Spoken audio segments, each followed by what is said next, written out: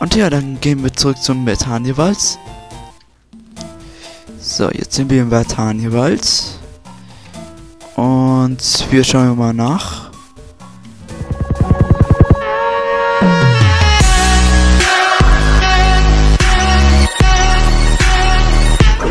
Jo Leute, herzlich willkommen zur neuen Folge von Let's Play Pokémon Feuerrot. In der letzten Folge habe ich auszusehen am Anfang Pokémon 2 gesagt, obwohl das Pokémon Feuerrot ist. In der letzten Folge, da haben wir schon mal zwei neue Teammitglieder gefangen. Und zwar ein Raupi namens Masio Gomez und ein Pikachu namens Dennis Tennis. Und da gehört auch ein Dennis dazu, aber ähm, ja. Der Name war zu lang. Und ich benenne ja meine Pokémon nach meinen Abonnenten. Ähm, auf jeden Fall sind wir letztes Mal in Bertania-Wald stehen geblieben. Ich bin jetzt aber im Pokécenter, weil ich möchte euch mal was zeigen. Jetzt habe ich offscreen erstmal meine Pokémon trainiert. Das habe ich jetzt gerade schon gesehen. In dieser Folge möchte ich auch unser Raupi weiterentwickeln. Und ja, ich habe noch meine anderen Pokémon sehr stark trainiert. Läuft super. Und die Boxen habe ich so angepasst. Also so angeordnet. Ich zeige es euch mal. Gehen wir zur allerersten Box. So. Und zwar habe ich diese Boxen halt so umbenannt und geordnet, dass, dass es vom bestimmten Typ gut angepasst ist. Also wenn jetzt zum Beispiel, wenn ich jetzt zum Beispiel einen Wassertyp ablegen möchte, dann bringe ich dann diese Box, wo es halt gut für Wassertypen aussieht. Und da habe ich schon mal ein paar Pokémon abgelegt. Und manche dieser Typen sind auch so abgekürzt, weil man kann halt die Namen nicht länger machen. Ja, deshalb habe ich auch natürlich vor so ein paar Wochen auch bei meinen Pokémon Smart Let's Play gemacht. Also ich, ist nicht das erste Mal, ja. Habe ich auch so bei meinem Pokémon Spark Let's Play gemacht. Aber gut. Ich habe es dazu geordnet, weil ich will sie ja alle fangen und halt dadurch das ganze Spiel durchspielen. Und ja, dann gehen wir zurück zum Metaniewald. Aber zuerst äh, möchte ich noch was zeigen, was mir gerade so aufgefallen ist, also was ich jetzt gerade vergessen habe zu nehmen. Und zwar habe ich vergessen hier hinzugehen, um mir dieses Item zu nehmen. Habe ich ja wirklich vergessen. Ein Trank. Ja. Mm. Dann gehen wir zum, zum Bertania-Wald. Und sehen jetzt mal um. Und kämpfen wir mal, mal gegen Trainer. Mm. So, jetzt sind wir im Vataniewald. Und wir schauen mal nach. Sind das kein Item? Ja. Wir können aber auch unser Raupi trainieren.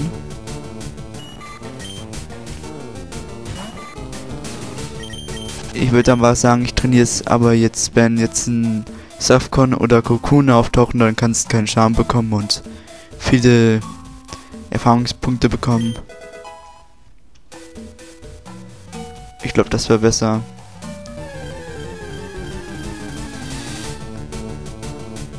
Oder, ach komm, wir kämpfen auch mal so. Ich will noch keine Pussy Saves sind Männer.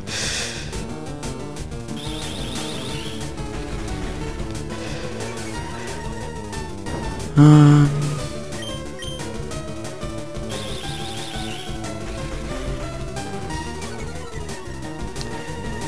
Komm schon, Raupi. Ich meine Massio Gomez. Boah, Volltreffer. Das nenne ich mal ein starkes Raupi. Ein Treffer.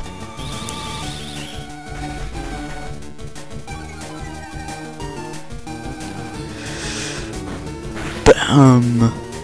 Boah, nochmal ein Volltreffer. So wie der Volltreffer. Ich glaube, es wäre besser, wenn wir schon mal gegen Trainer kämpfen.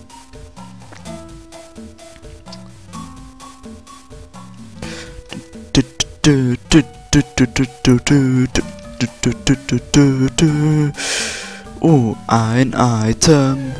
Und ein wildes Pokémon und es ist ein Ruppi. Ich blöde jetzt einfach mal, ich will jetzt keine Zeit verschwinden. Ja, und unser Glumanda ist in diesem Wald im Vorteil, weil das sind überall Käfer-Pokémon. Und der Glumanda ein Feuertyp ist, ist er halt stark gegen Käfer. Oh, da ist ein Käfersammler.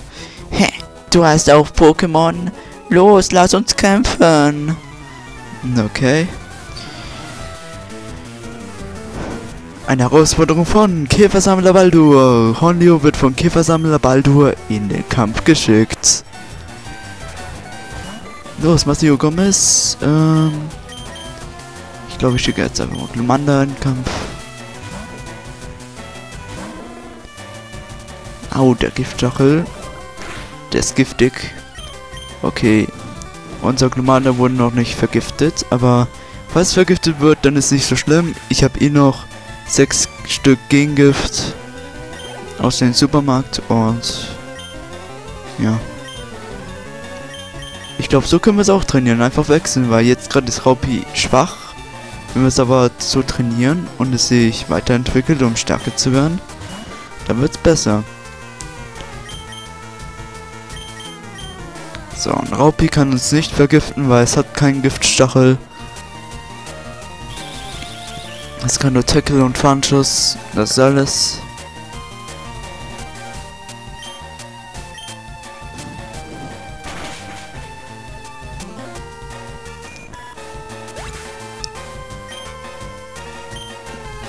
Und. Yeah.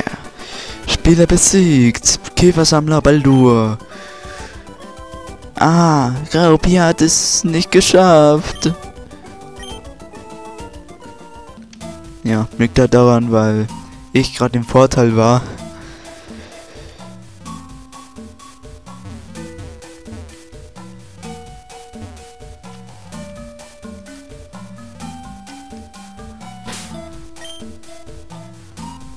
Mm.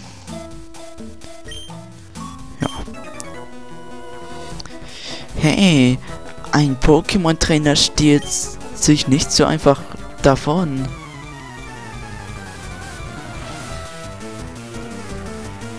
Eine Herausforderung von Käfersammler Eusebius.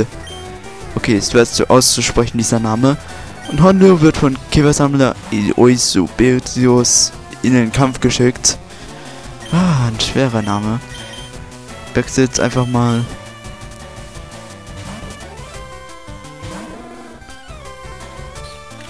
Autsch, der Giftstachel. Oh, aber nicht vergiftet. Boah, starkes Glummer, ne?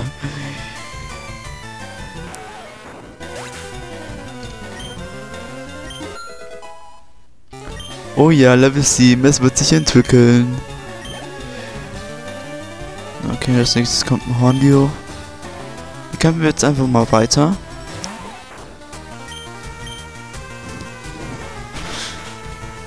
Und es ist effektiv.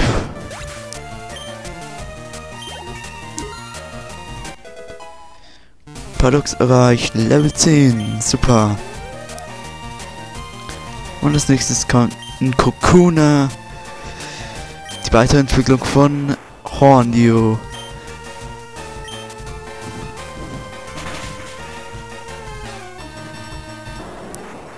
Und ist effektiv und Kokuna wurde besiegt.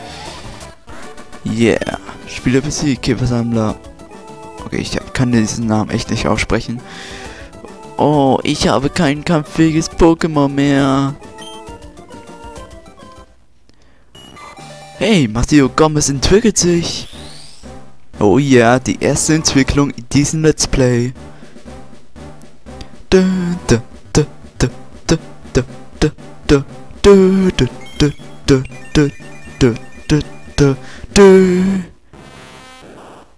Glückwunsch, der Masio Gomez wurde zu Safcon. Safcon. Masio Gomez erlernt Härtner. Das ist super. Und wir haben ja noch ein Gegengift. Ist auch gut, weil hier sind viele Hornios, die unsere Pokémon vergiften können. Aber super, wir haben jetzt unser Raupi entwickelt. Zu einem Safcon. Und es wird sich auch gleich nochmal entwickeln, also es entwickelt sich sehr schnell. Ja, es hat auch Härtner erlernt. Und ja. Ich glaube, wir sehen uns mal den Pokédex-Eintrag von Safcon an. Ähm, da ist es schon. Schon Pokémon Nummer 11. Pokémon Nummer 11. Safcon. Das Kokon-Pokémon. Größe 0,7 Meter. Gewicht 9,9 Kilogramm. In seiner harten Schale ist ein weicher Körper. Einem brutalen Angriff hat es nichts entgegenzusetzen. Ja. Deshalb hat das Safcon so Härten erlernt, weil es braucht mehr Verteidigung. Um diesen weichen Körper in dieser Schale, die seine nächste Entwicklung sein wird, ähm, zu schützen.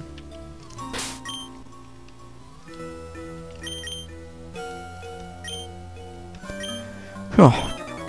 Ich bin zwar klein, aber ich will nicht, dass du mich deswegen gewinnen lässt. Keine Sorge, ich lasse dich nicht gewinnen, weil ich weiß ganz genau, dass ich gewinnen werde. Eine Herausforderung von Käfersammler Emil. Robby wird von Käfersammler Emil in den Kampf geschickt. Los, Masio Gomez. Hobbys jetzt Fanjo sein. Leute, sind Hobbys Level 7 und hat sich weiterentwickelt. Ja, da hat wohl jemand den B-Knopf während der Entwicklung gedrückt. Weil wenn man während der Entwicklung eines Pokémons den B-Knopf drückt, dann stoppt man die Entwicklung. Sag ich mal so.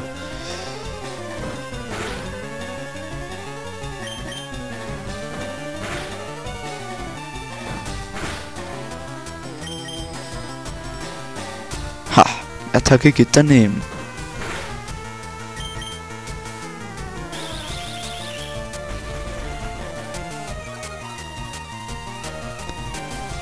Und Tackle.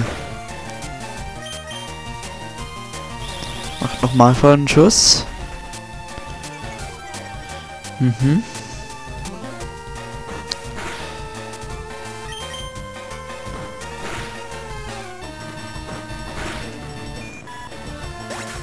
Und geschafft. Raupi wurde besiegt. Und Masio Gomez erhält 79 Erfahrungspunkte. Als nächstes wird Raupi in den Kampf geschickt. Ich glaube, wir jetzt einfach mal das Pokémon, weil Masio Gomez ist schon richtig geschwächt von dem Tackle. Los, Paradox.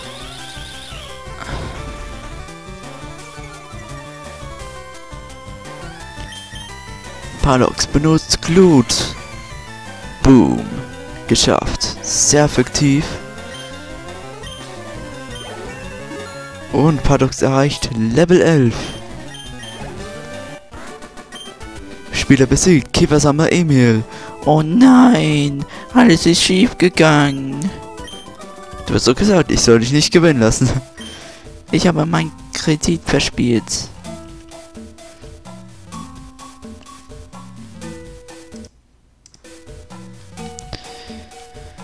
Äh, ja. Dann gehen wir jetzt einfach weiter.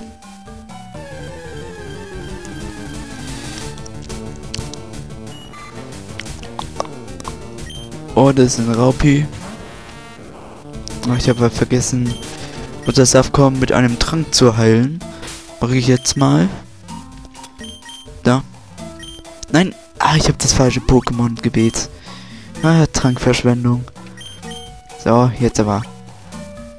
Ja, aber nicht so schlimm. Wir können uns eh jederzeit Tränke kaufen. Weil wir verdienen jetzt eh mehr Pokédollar durch die Trainer hier. Jetzt habe ich 832. Ist zwar wenig, aber wir sind ja eh erst am Anfang. Und später, wenn wir mit dem Spiel weitermachen, bekommen wir noch mehr. Gut. Weißt du, dass Pokémon sich entwickeln? Ja, das weiß ich. Ich habe jetzt auch eine Entwicklung gesehen, weil ich habe meinen Raupisum Safcon weiterentwickelt. Und er schickt einen Safcon in den Kampf.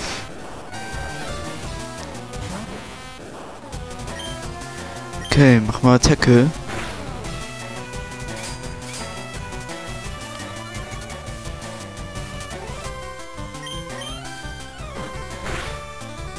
Hm, macht wenig Schaden, weil Safcons Verteidigung ist sehr hoch.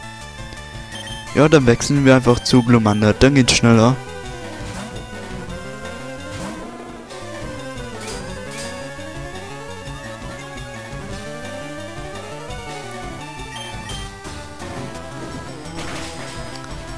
Und das ist effektiv, yeah. Safcon wurde besiegt. Masio Gomez erhält 54 Erfahrungspunkte und erreicht Level 8. Paradox erhält 54 Erfahrungspunkte. Sechstes wird Raupi von Käfersammler Hillmann eingesetzt. Für Daniel das Pokémon wechseln. Ja, ich wechsle mal zurück zum Safcon namens Masio Gomez.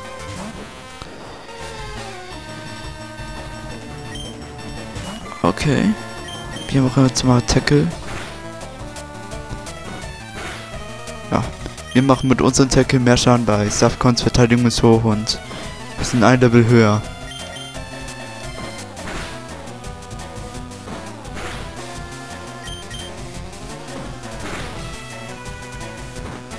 Oh yeah.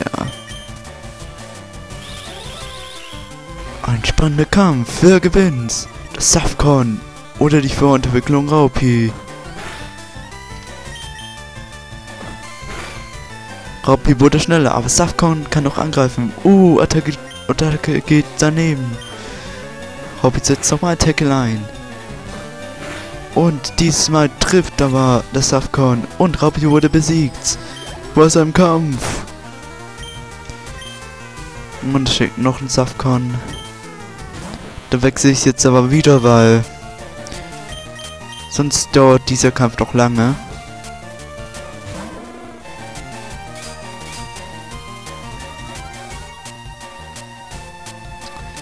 Okay, die Verteidigung von Safcon steigt. Ja. Und Loot ist sehr effektiv. Safcon wurde besiegt. Basio Gomez erhält 54 Erfahrungspunkte. Paradox erhält 54 Erfahrungspunkte, also alle halten 54 Erfahrungspunkte. Oh, ich habe verloren. Dann machen wir jetzt aber weiter.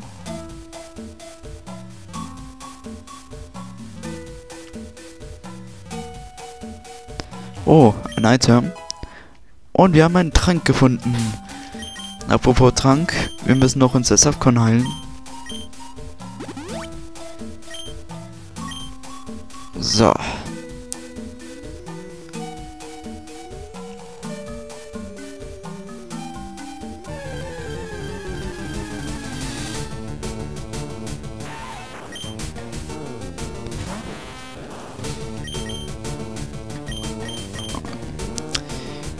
Und unser Safcon entwickelt sich fast. Es braucht noch zwei Level, was wirklich super ist.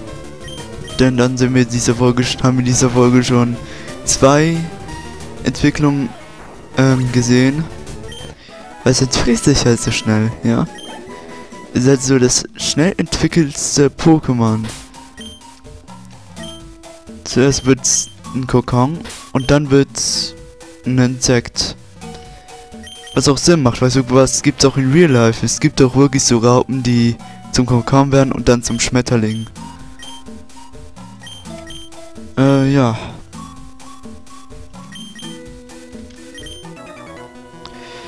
Hey, warte, warum die Eile? Okay, noch ein Kampf. Eine Herausforderung von Käfersammler Rudolf.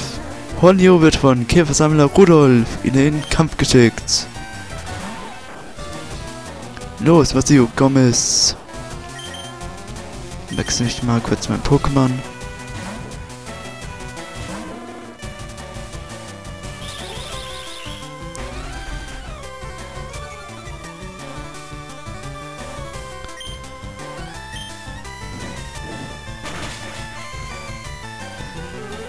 Und das ist sehr effektiv. Honio wurde besiegt. Oh yeah, Masio Gomez erreicht Level 9. Noch ein Level. Dann kommt die Entwicklung. Käfersalm war besiegt. Oh, du bist so gut, ich gebe auf.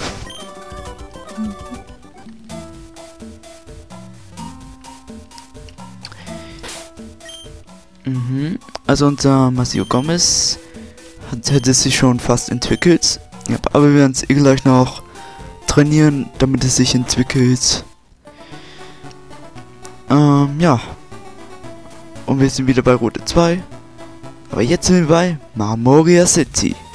Hier erwartet uns auch unser nächster Arena-Kampf. Diesen Arena-Kampf werden wir uns aber in der nächsten Folge erst ansehen. So.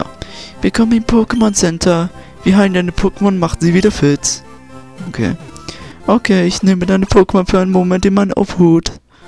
Danke, deine Pokémon sind wieder topfit. Komm jetzt halt wieder vorbei. Okay. Ich würde sagen, wir entwickeln uns noch zuerst unser Safcon, dann schauen wir uns mal Maurice City an und dann war das eigentlich schon der Part. Gut. Dann sehen wir uns gleich wieder, wenn ähm, Safcon das Safcon namens Masio Gomez Level 10 erreicht und sich weiterentwickelt.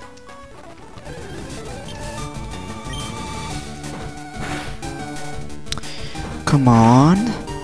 Okay, jetzt sollte es Level 10 erreichen. Yes! Masio Gomez erreicht Level 10. Oh ja, es ist soweit. Hey, Masio Gomez entwickelt sich schon wieder. Oh, was wird's diesmal? Dum, dum, dum, dum, dum, dum, dum, da. Dum, da, da, da, da. Glückwunsch, der Masio Gomez wurde zu Smetbo. Huh. Und er lernt Konfusion. Und die ganze Entwicklung von Raupi macht doch Sinn. Denn wie ich einmal vorgesagt habe, so sind auch Raupen in Wirklichkeit. Raupen ähm, können sich jetzt zu einem Kokon machen wenn sie halt viel gegessen haben. Und dann werden sie bald vom Kokon zum Schmetterling, indem der weiche Körper in den Kokon jetzt rauskommt. Und das gleiche war hier jetzt so. Raupi konnte durch so Erfahrungspunkte sich so ein Kokon machen. Also die Erfahrungspunkte waren halt so wie Essen, so Nahrung für Raupi. Und später, durch ein weiterer Level später, wurde es dann so ein wunderschönen Schmetterling. Oh, ich sehe gerade, die AP von Tackle ist jetzt auf 0. Wow, was für ein Zufall. Aber wir packen mal Konfusion auf erster Stelle. Das ist schon eine starke Attacke. Gut. Dann machen wir mal. Dann, ähm, werden wir unser Pokémon schon mal heilen. Und wir schauen uns mal Amoria City mal ein bisschen an. Also, wir erkundigen mal die Stadt.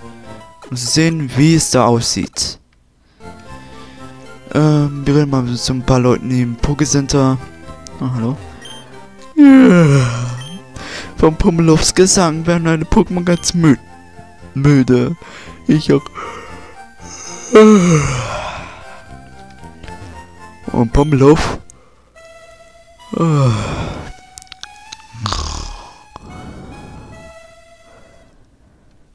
Oh. Oh. Dieses Pummelow.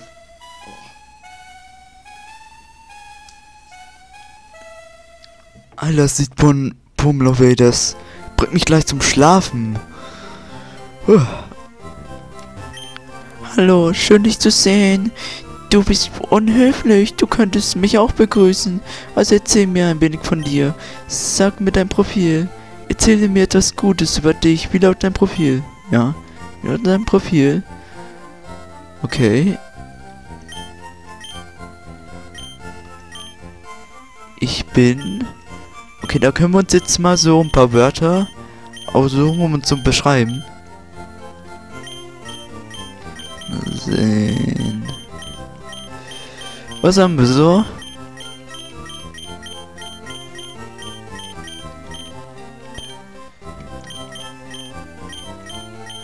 Warte mal, was ist die Meltel? Aha. Das sind solche Wörter.